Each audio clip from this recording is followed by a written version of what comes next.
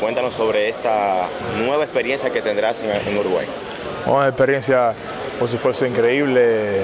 Es un honor y un orgullo jugar para representar el país y es un torneo duro, tenemos un equipo muy fuerte, Uruguay en casa, con buenos jugadores como Batista y Granger y los gringos, no se puede decir, son siempre, el equipo Z puede ser un equipo bueno y entonces ah, hay que ir allá a tope, el equipo está igual, un equipo bueno, con mucho talento, demasiado talento como siempre, Amada de Vikingo, Víctor Liz, gente que pueden anotar mucho, el, señor Delgado, que lo conocemos ya, que es un animal ahí abajo. Entonces, ahí este equipo tenemos una buena química, nos llevamos muy bien como compañeros todos y a ver qué pasa. Mañana, mañana viajamos a ver qué pasa en el torneo. El dirigente va a apostar a la rapidez y al atleticismo de, ustedes como jugadores, no tan así a los jugadores altos.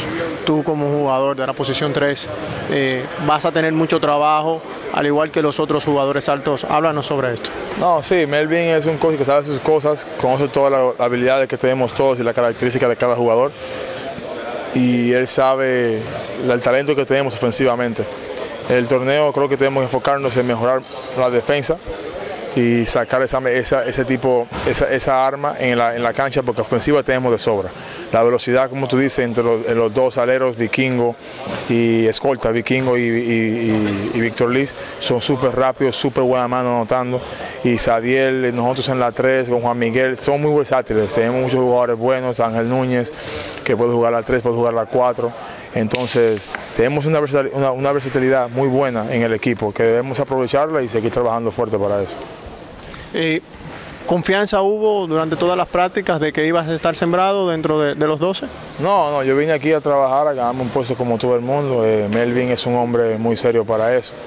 Es un hombre que viene así a decirte las cosas así como que hace en el equipo, nada de eso. Él viene aquí, cada quien con su rol. Si mi rol es meter un tiro libre a ganar el partido, ese es un tiro libre. Y es un hombre que sabe mucho, nos conoce a todos, nuestras características, como te dije y creo que ha hecho un buen trabajo con nosotros en tan poco tiempo y, hay que seguir mejorando cada día. ¿Ha hablado el dirigente contigo de cuál será tu rol con el equipo? Oh, claro, que va que todo. A mí me ha dicho mi rol, mi rol es meterla de afuera, ayudar al equipo a la, la, la veteranía un poquito que tengo, la experiencia jugando en Europa y ayudar al equipo en todo lo que tenga que ayudar, entrar a la cancha en defensa, en todo lo que sea y, el, objetivo número uno es meter pelota de afuera y ayudar al equipo en todo. Gracias, Tago.